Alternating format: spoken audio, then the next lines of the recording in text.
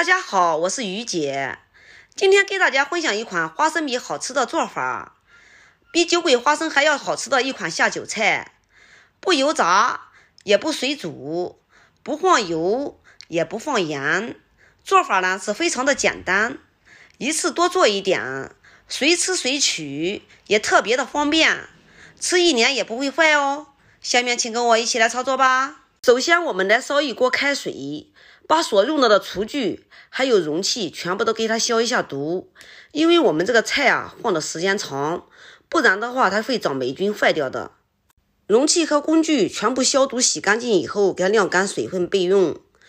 这是我花了三十块钱买了六斤的花生米。我们这边的花生米呢卖五块钱一斤，你们那边的花生米卖多少钱一斤呢？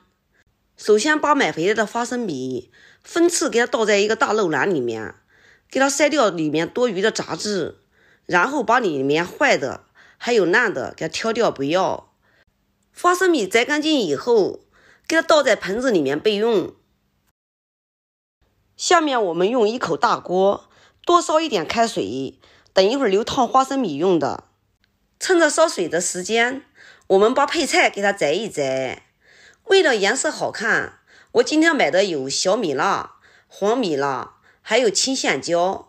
这个辣椒是我之前已经摘干净了，不用去蒂哈，直接给它倒在清水里，给它清洗干净，然后再给它晾干水分。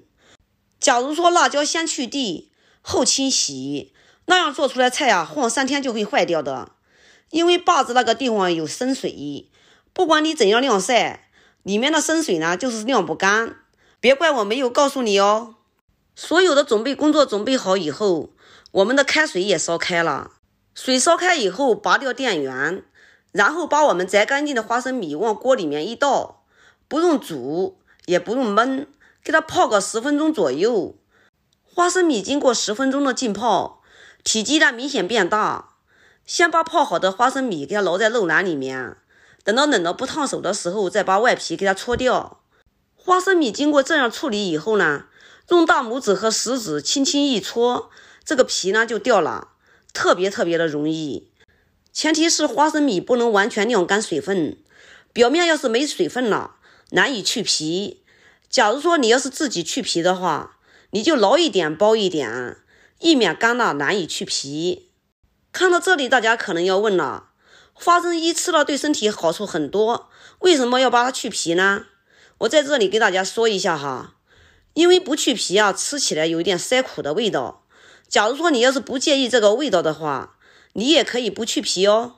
给花生去皮真的是一个大工程，我们三个人齐动手，追了一下午的剧，现在呢终于剥完了。重新再烧一锅开水，水开后再次把剥好皮的花生米烫一下，因为在剥花生米的期间，手呢难免会出汗。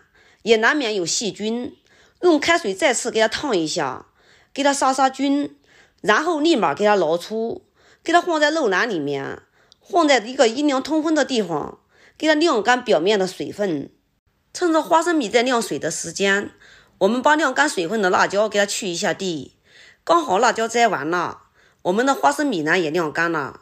花生米晾干水分以后，给它倒在一起，放在一边备用。